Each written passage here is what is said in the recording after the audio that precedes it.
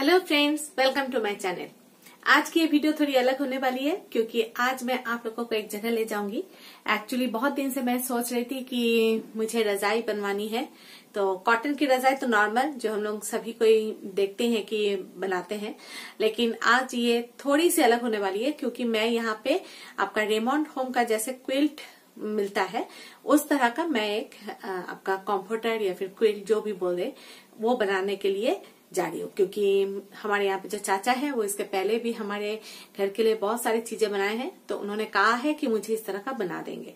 क्योंकि वो मुझे बहुत बड़ा भी नहीं और बहुत छोटा भी नहीं, मीडियम साइज़ चाहिए, इसलिए मुझे ये बनवाना पड़ रहा है।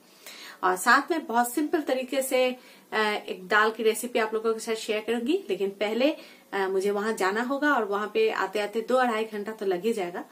तो ठीक है, फिर आने के बाद आप लोगों के साथ शेयर करूँगी कि वो कैसा बना।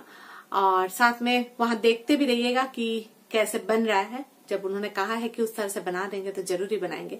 तो चलिए पहले देख लेते हैं कि नॉर्मल जो रजाई होती है, उसके साथ रेमोंड होम का जैसा क्विल्ट वो हमें कैसे बना के देते हैं। देखिए, ये रेमोंड का कॉम्प्यूटर है और इसका एक तरफ़ इस तरह का प्रिंट है और एक तरफ़ इस तरह का एक एक कलर में प्लेन है और इसका जो रुई है, आप देखिए, देख के समझ सकते हैं, अंदर में आपका सिंथेटिक वाला इसका रुई दिया हुआ है। जो हम लोग टेडी बियर बनाते समय, जो रुई का हम यूज़ करते ना, वो रुई इसमें डाला हुआ है। तो हो सकता है कि ये कंपनी का है तो कुछ और और अच्छा हो, लेकिन हमारे यहाँ पे तो सिंथेटिक वाला वैसा ही रुई मिलेगा तो उसी से मैं बनाऊँगी। ये देखिए, ये रेमोंड होम का है। तो ये बहुत ही लाइट वेट है और ये आपका डबल बेड साइज़ का है। तो इसलिए हम्म, मुझे थोड़ा मीडियम बनाना है। तो चलिए देखते हैं। ये देखिए ये सिंथेटिक रुई को वो धुन रहे हैं और दूसरी तरफ़ कॉटन रुई भी धुन रहे क्योंकि मुझे दो बनाना है। एक सिंथेटिक रुई से आपका लाइट वेट वाला होगा और कॉटन रुई से नॉर्मल जो हम लोग बनाते हैं जो मोटा वाला रज़ाई जिसको हम लोग बोलते हैं वैसा।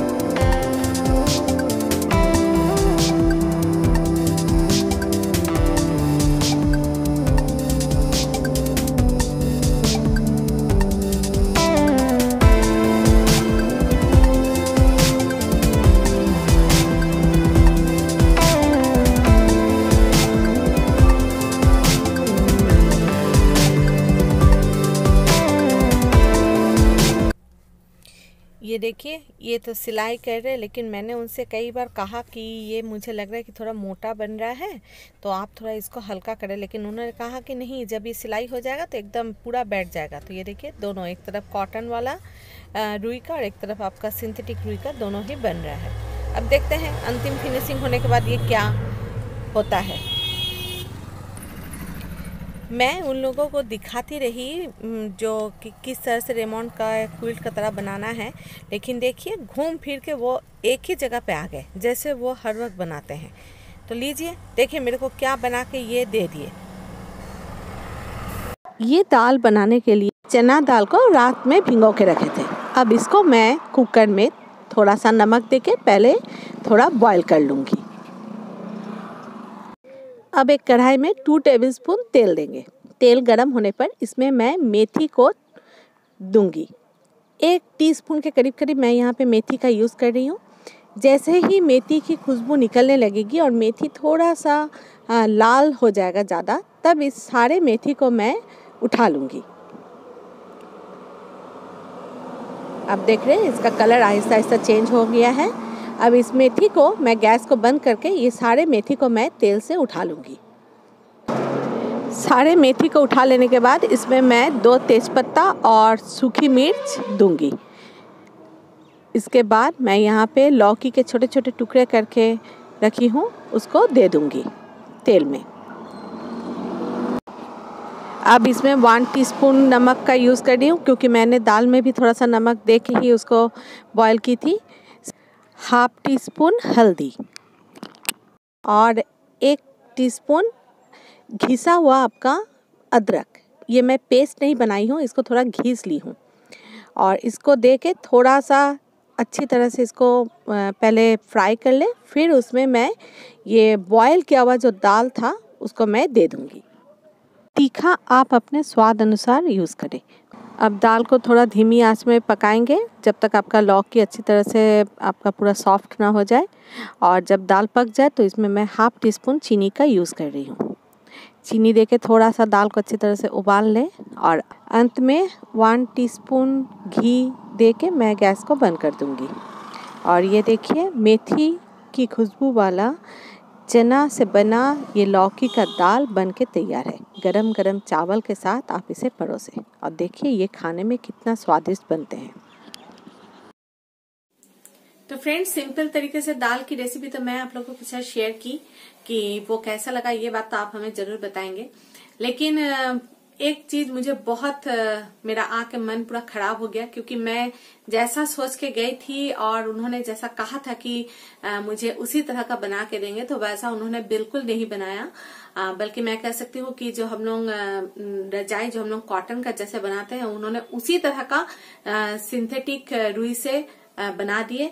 या फिर बोल सकते कि बाला पोस हम लोग बनाते हैं ना तो उसी तरह का उन्होंने बना दिया। तो पहले अगर उन्होंने मुझसे कहा होता तो फिर मैं बाला पोस तो घर का सिंथेटिक कपड़ा से ही बन जाता है, फिर मैं कपड़ा उसके लिए अलग से खरीदती नहीं, या फिर सिंथेटिक रुई का यूज़ नहीं करती।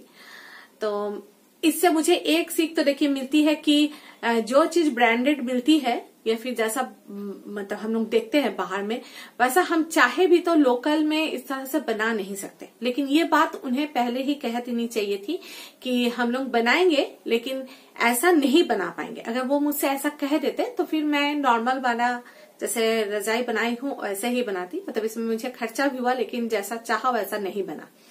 तो मेरी आप लोगों से भी सलाह है कि या फिर मैं तो कहूँगी कि मेरी सीख से आप भी एक सीख ले, ले सकते हैं कि अगर कुछ भी आपको इस तरह से बाहर ब्रांडेड पसंद हो और अगर आप चाहें कि वो बनाना है तो फिर लोकल में जाके वो बनाने की कोशिश न करें क्योंकि वो बोल तो देते हैं कि हम ऐसा बना देंगे लेकिन ऐसा होता नहीं है।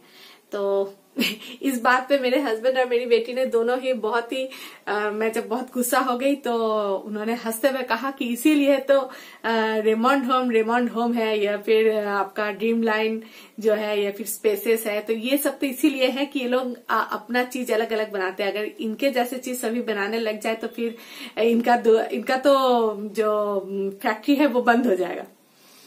तो वो मुझे मैं गुस्सा थी तो इसलिए उन्होंने मुझे शांत करने के लिए ऐसा कहा। तो ये बात भी सही है। तो मेरी ही गलती है कि उन्होंने कहा मैंने उनका बात पे विश्वास किया। तो आप लोगों को ये वीडियो कैसा लगा? ये बात आप हमें कमेंट बॉक्स में ज़रूर बताएँ। और इससे मुझे जो सीख मिली ये आप भी आ, आपको भी अगर लगता है कि ऐसा गलती आपसे ना हो या फिर आपके दोस्तों से तो इसे लाइक और शेयर ज़रूर करें। सब्सक्राइब करने पर मेरी अगली वीडियो की नोटिफिकेशन आपके पास आ जाएगी। अगली वीडियो में फिर से आप लोगों से मुलाकात होगी। तब तक के लिए अलविदा।